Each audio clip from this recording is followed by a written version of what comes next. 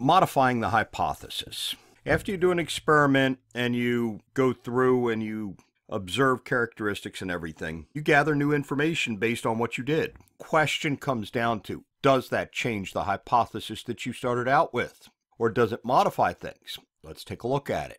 First off, we deal with the null hypothesis. The null hypothesis is that hypothesis that you set up in the beginning. The null hypothesis basically states that there is no significant difference between specific populations, any observed difference being due to the sampling or experimental error. Basically, what we're testing in the null hypothesis is that the effects that you are looking at have no difference on what you've got. Now, you can't really prove that, so what you do is you test that there is significant difference in there. And therefore, what you're looking at is that any difference you have is due to difference between the specific populations, and it's not due to sampling error or to sampling or experimental errors. So your null hypothesis, no difference exists.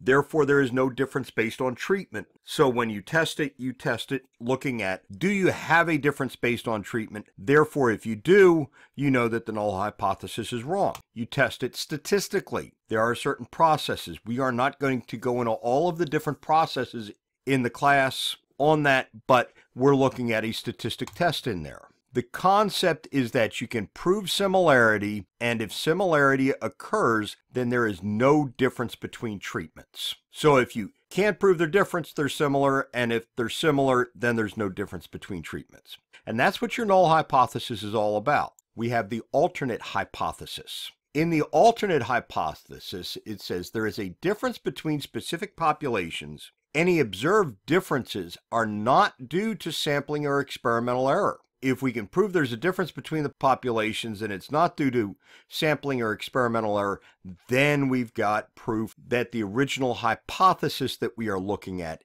is correct. Therefore, we're looking for a difference based on treatment and not on sampling or experimental error. The concept is since that you cannot prove similarity, then there was a difference based on treatment, modifying the hypothesis. You ran your test and you didn't find significance. Did you notice anything about your experiment that may have been a cause? Now, notice, we ask a lot of questions because what we want to do is question authority and we want to pay attention to what's going on to see whether or not there is something in there that might have caused something. So it says, you ran your experiment, you didn't find any significance.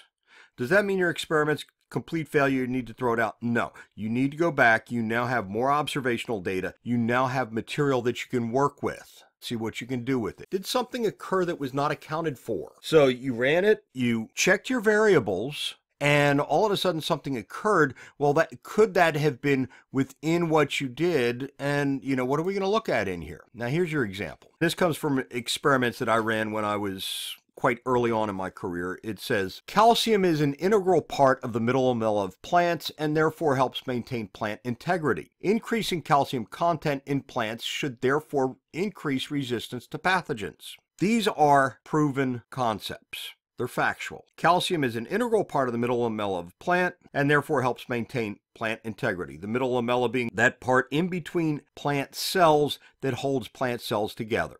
You increase the calcium content, the middle lamella becomes stronger. Therefore, it should help the plant be able to resist a pathogen that would get in there and produce an enzyme that would break down the middle lamella. And in this particular case, we did this test on two different pathogens. One is anthracnose on soybean, it's a foliar pathogen. One is Phytophthora capsicum on green pepper, which is a root pathogen. Now notice, we've got a little bit of difference in there between the two systems we're setting up. This comes from the paper that was published in Plant Disease 64, 1980. The relationship between tissue calcium, which are the solid dots, and anthracnose, which are the little X's of soybean seedlings grown in modified Hoagland solution. We have different levels of micrograms calcium added to the Hoagland solution. You can see the disease rating after we sprayed the material, and you can see the percent calcium in the tissue on the right hand side. What we see in here is you have a linear regression line going up the center based on calcium content, and you can see the various calcium contents as the little balls going up, and there is your regression line. It gives you your slope plus your constant plus your R value, which is exceedingly high for this. And it also shows you where your disease is. And you can see that as you add calcium in, your disease level drops off. So therefore you have negative sort of effect in here. As calcium goes up, disease goes down. And it's a very prominent sort of thing, and it's statistically significant. We're looking at the effects of calcium salts on the pH of amended soil sample after harvesting. Pepper plants were inoculated with Phytophthora capsici at 25 days and were harvested 15 days later. What was done was soil was taken, the soil was amended with various levels of calcium per gram of soil, and these are micrograms calcium per gram of soil. We used four different calcium materials calcium chloride, calcium hydroxide, calcium carbonate, calcium sulfate we were looking for an effect between calcium and disease, and we didn't get it. We're going, wait a second, what happened here? And we went back and we started looking at it. You can see that on the calcium chloride, you didn't get a pH change. On the calcium sulfate, you didn't get a pH change, but you did get a rather substantial one on the calcium hydroxide and the calcium carbonate. Number one, is our treatment affected something more than just the calcium content of the plant. It affected the basic parameters in here of the pH of the soil. And you can see the calcium chloride actually decreased the pH a little bit. The calcium sulfate really didn't change it either up or down. So when we went out and we looked at disease, we found that something wasn't there that we were expecting because we had modified something that changed something else. So we started looking at this and we started going, what in the world is going on in here? This is what happens. When you take calcium hydroxide or calcium carbonate, they are often used as what we call lime, and lime is used to raise the soil pH. With calcium carbonate, the calcium carbonate plus two hydrogen ions form calcium plus the bicarbonate ion, which breaks down into water and carbon dioxide. And basically, what you do is you raise the pH. With calcium oxide, the calcium oxide plus water gives you calcium hydroxide. The calcium hydroxide picks up hydrogen, gives you divalent calcium plus water. If you bring in the calcium chloride, calcium sulfate. Neither one of these react with the hydrogen ion concentration, therefore you do not get a change in pH. So all of a sudden,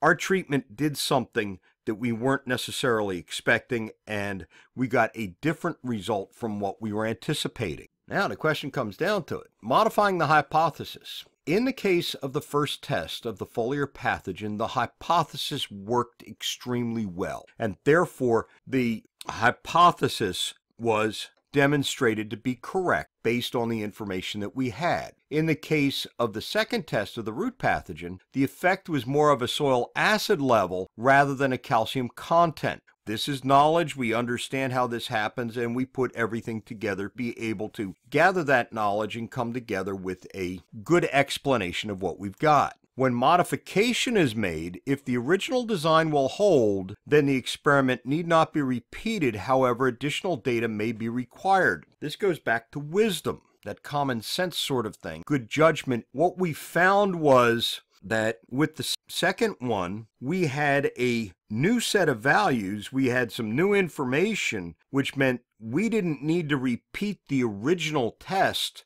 However, we did need to gather additional data in order to be able to demonstrate that what we were talking about was actually correct. And we did this by taking the pathogen and growing it in different pH solutions and, and things like that to see where things actually came in. And we came up with a rather good paper on that. So when you deal with it, it doesn't mean that just because that it didn't work the first time, go back and look at it and figure out what's going on. Now, that doesn't mean that in all cases you can do this because sometimes when you put things together in the beginning, you just had a bad experimental design and you need to restart over and rethink everything you did. This is where science, people don't understand it because it doesn't mean that just because it didn't work out the first time that you got it all wrong. It may be part of what you did was wrong, and you need to go back and work on that. So when we deal with this, this modifying the hypothesis becomes very important, and understanding that you can do that becomes very important.